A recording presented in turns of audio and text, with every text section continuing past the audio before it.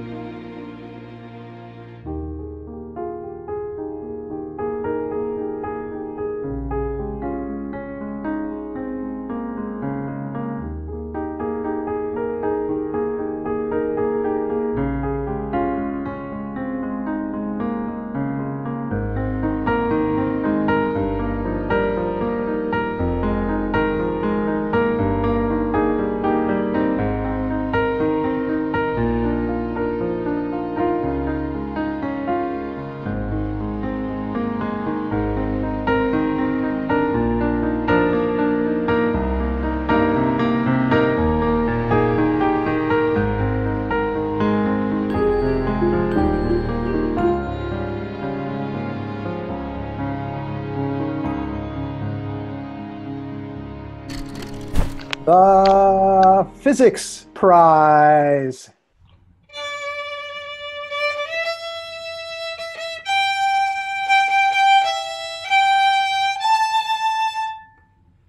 The winners this year represent the countries Australia, Ukraine, France, Italy, Germany, the UK, and South Africa.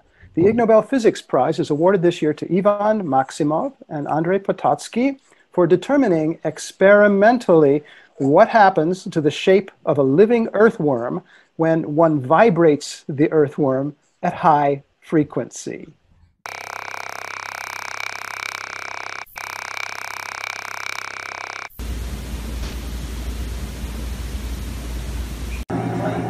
The prize will be presented by Nobel laureate Eric Maskin.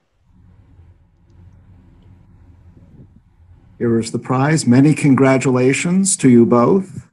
Thank you very much. To you. Thank you. It's an honor.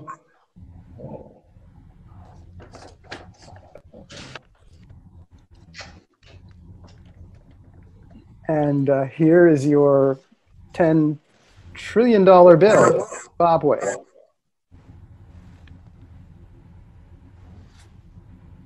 Wow. Thank you.